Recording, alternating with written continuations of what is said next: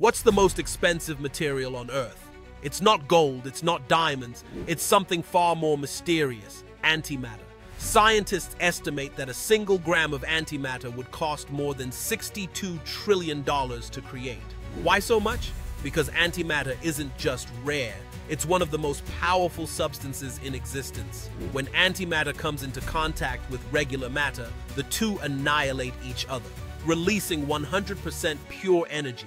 Just one gram could unleash the energy of a nuclear bomb, but without radioactive fallout.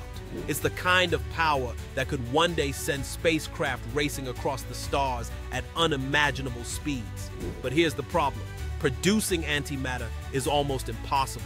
Right now, humanity can only generate a few nanograms each year inside particle accelerators like those at CERN. And if it's not perfectly contained, it vanishes in an instant. Despite these challenges, scientists believe antimatter could hold the key to some of our greatest breakthroughs, from powering future spacecraft to new medical treatments that could target diseases at the cellular level. Its potential is as limitless as it is dangerous.